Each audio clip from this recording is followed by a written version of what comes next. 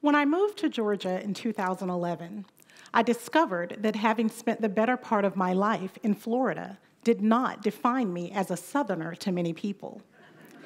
Once I traded in Disney World, warm winters, and orange groves for Six Flags, red clay, and peach trees, I slowly began to discover the South in all its glory. Following a meeting one day, a colleague who had recently moved to Georgia from the Northeast remarked, You don't sound like you're from the South. You have a non regional dialect. Where are you from? I responded, I'm from Florida. Oh, Florida's not the South, she informed me. Surely she knows where Florida is, I thought. Unlike residents of the Midwest who might struggle to pinpoint their home states on a blank US map, everyone knows where Florida is.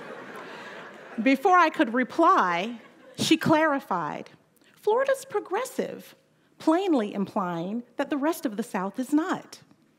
I grinned politely. Bless your heart, I told her. In the South, bless your heart is used to express everything from sincere empathy to heartfelt thanks to genuine pity for a person whose obliviousness is beyond correction. During the short while I'd lived in Georgia, I'd learned to deliver this versatile phrase expertly.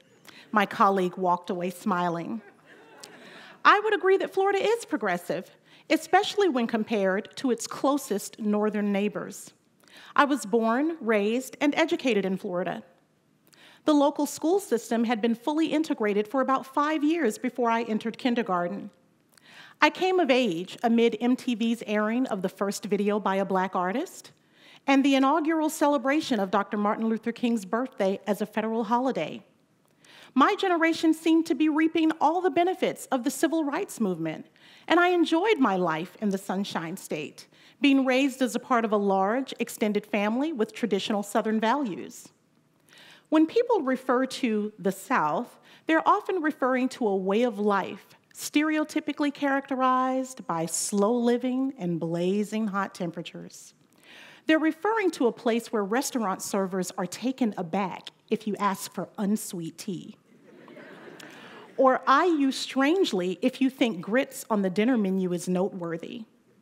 Where any man worth his salt has a dog that is literally his best friend, and where every respectable lady has mastered her grandmother's recipe for banana pudding, 7 Up cake, or sweet potato pie.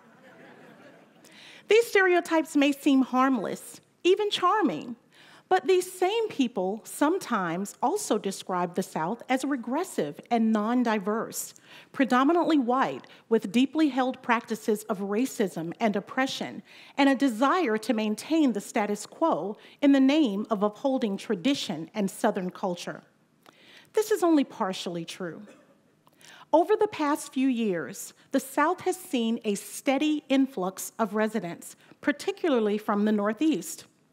In 2018, the Northeast lost 352,000 residents to domestic migration, and two thirds of them relocated to the South. Like my colleague, these new residents sometimes have misconceptions of the South as regressive and non diverse.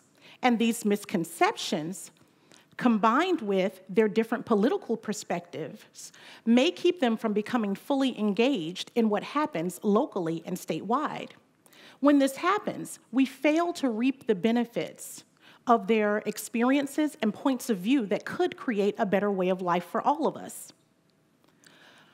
While there are places in the Deep South that still exist in the shade of Jim Crow's shadow, there are others where significant progress is taking place signaling the South's slow but steady transformation into a region that reflects our nation's growing diversity in politics and government. This transformation is evident in Louisiana. Just two decades after Grand Wizard of the Ku Klux Klan, David Duke, sometimes called the most charming bigot you ever met, was elected as state representative, Louisiana elected Indian American Piyush Bobby Jindal as the 55th governor of the state, making him the first non white governor ever elected. he won re election by a landslide in 2011. This transformation is evident in Georgia. In 1987, no African Americans had lived in Forsyth County for 75 years following a violent racial cleansing. Residents asserted their desire to remain a whites only county by staging a brotherhood march and stating their desires on national television. But change is inevitable. Although people of color now make up about 15% of this county's population, I'm sure residents who fought against this growth couldn't imagine that in 2018, Stacey Abrams, a black woman, would secure the Democratic Party's nomination for governor of the state of Georgia. She also made history as the first black woman to win a major party gubernatorial nomination in the history of the United States. Ms. Abrams graced the cover of Time magazine and reshaped the image of a high ranking official in Georgia.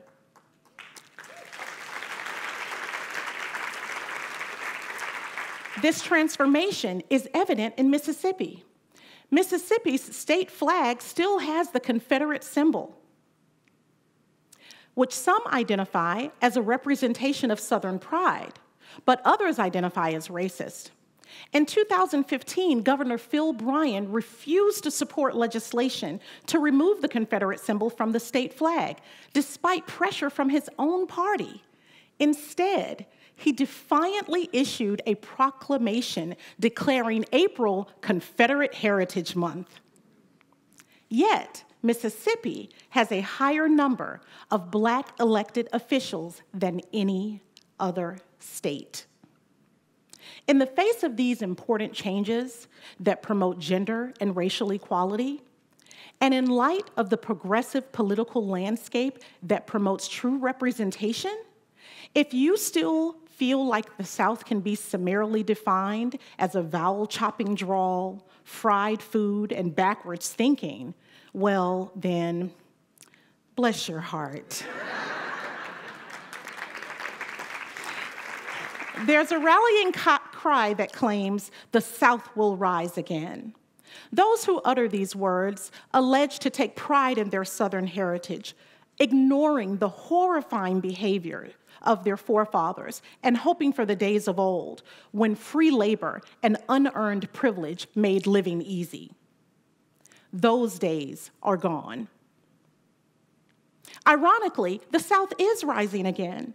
The South is rising as a social, political, and economic power that reflects the growing diversity of our nation, and we can all take part in the growth process. Following a meeting at a school for the children of freed slaves in the South, a retired Union general asked what message he should deliver upon his return to the North. A young student declared, Sir, tell them we are rising. So let's replace the controversial embattled expression with this new rallying cry that embodies all of the hope and optimism of the past and present and values everyone in our growing dynamic communities. Generations later, that young student's response is truer than it has ever been because we are rising.